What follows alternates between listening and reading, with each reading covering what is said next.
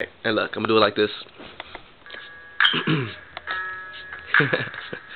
uh, okay. Okay.